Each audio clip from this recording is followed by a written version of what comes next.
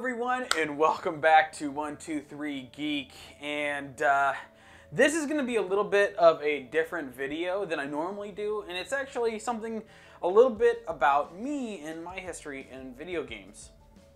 So, uh, I want to talk about something that kind of changed my life mm, quite a bit, and uh, it was it was really cool, and the opportunity that I had being there really shaped my view in the video game industry.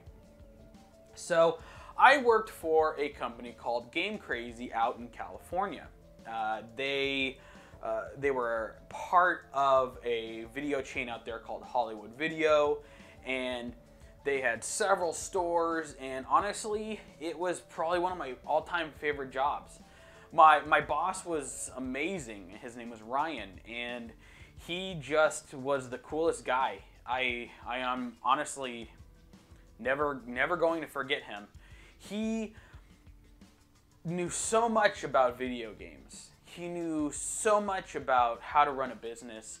He knew so much really basically about just everything in the industry. I mean, he, you know, they would send him off to E, uh, e to E3. He'd send, they'd send him off to um, GDC. They'd send him off to, you know, a bunch of different expos, and you know he would go because he was so uh, so enamored by it. It was very, it was very, it was so cool to him. So for me, the coolest thing was Game Crazy was just, it was like a haven it was a game store that I can't believe lost out to GameStop. And, and honestly, the only reason why I think it lost to GameStop is because GameStop purchased out everybody else. They purchased out EB Games, which was the Electronic Boutique Games, um, it, here in the United States. I know that they still have EB Games, I believe in Canada, but nonetheless, it was like one of the best video game stores that I've ever been to. What made them so interesting was that you could try any game that you wanted before you bought it. Any game. Any huge game, any new game, you can try it before you buy it.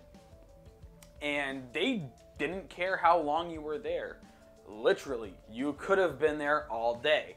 Now, what made them also made them different was the fact that when they hired people, they really focused on the knowledge of that person, the knowledge in the industry. They, I, recall some of the questions that they asked me were, "What's your first, What was the first video game that you played? What are you playing now?" You know, and then they would ask me trivia questions during the interview, and to me, that made a lot of sense.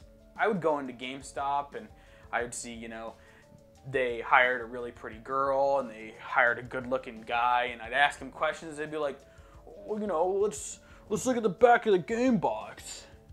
Oh whoa. Yeah so this game um, it has two players on it and yeah I mean it's just you know it's good. It's a good game. I'm like well have you played it?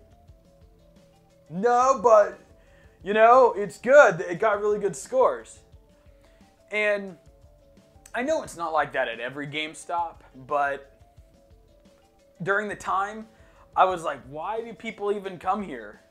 No one knows what they're talking about. Matter of fact, I even knew a girl that got hired by a GameStop, and she was in no way a gamer. She didn't know anything about video games or nerdy culture at all. She was actually one of the popular girls in my high school. The thing is, is that Game Crazy was probably hands down probably one of the best places to actually bring old consoles, bring old video games to talk and gain knowledge about video games. I mean, we honestly truly loved video games without question. And the thing is is that they were killing it. We had people coming in. It was all the time people came in. We had these trade up uh, you know, get more for your trades before GameStop was doing the power up card with the extra, you know, towards the games that you you you know brought in. We were doing like 15 to 20% extra on games that you bring in. And the thing is, is that we'd also take super rare games. And the average, we never ever turned away a game. Ever. Any game. It could have been the cheapest game on the planet. And um, we'd be like, I mean, we can give you a dollar for it, you know? And uh, honestly, I don't think I ever recall get, offering anything less than a dollar. Now, we would do store credit and we do cash. And most of the time, people want to store credit. Sometimes they want cash, but most of the time, they want to store credit because we had a huge selection of games. The problem is, is that there was only a handful of standalone stores. I was lucky enough to be in one of those standalone stores. Now, the standalone store was awesome. A little bit more foot traffic. It wasn't connected to a Hollywood video. And, well, what happened was they lost the race. Game Crazy started closing, and it was sad. They started closing stores because Hollywood Video was going out of business. They weren't sticking together, and it was kind of a disappointment. Honestly, thinking back, it's probably one of the best video game experiences that I have and best work experiences I ever had. You had to have drive there. You had to have knowledge. You had to talk about video games. Your entire job basically was talking about video games, knowing classic video games. We offered classic video games at our store.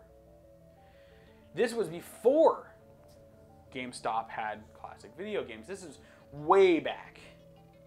I want to say it was 2004. Nonetheless, Game Crazy unfortunately went out of business. I lost my job, and my boss was obviously let go. He went down with the ship though. He stayed there and closed everything out. Lucky for him, he actually went to go work for a toy company. And he was a manager there, and I bet you he still is, and he's probably making good money because he deserved it. He was an amazing manager, and honestly, extremely knowledgeable, and never let go of his inner child. And that's the thing. As a geek, I'm never going to let go of my inner child. Because on the inside, I know that I love video games. I know that I like movies. I know that I like to act.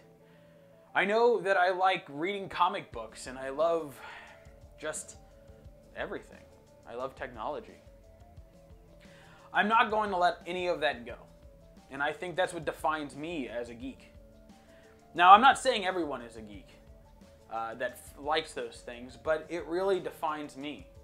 It used to be a subculture, but now it's kind of like it's cool to be a geek. But I've been around through the thick of it, where it wasn't cool to be a geek, where I was made fun of, where I was bullied. Honestly, Game Crazy was basically my haven. People didn't make fun of me. We talked about video games. We talked about comic books. We talked about movies. We even talked about politics. I didn't really care for politics, and I still don't, because life is too serious already. Why make it more serious? Nonetheless, Game Crazy was by far one of the best companies that I ever worked for. I guess that would be Hollywood Video, but nonetheless, when it comes down to it, that place I'm never going to forget. Unfortunately, like I said, they're gone, and there's not going to be any chance of them coming back, I don't think. Unless something changes, I don't know. Nonetheless, if you worked for a video game store, please put them in the comments below. Tell me if you ever worked for Game Crazy, and what was your experience there. Anyway, if you have any questions, also put those in the comments below. And don't forget to like, don't forget to subscribe, don't forget to hit that bell icon, and don't forget to share my video. I'm also now on BitChute at 123Geek.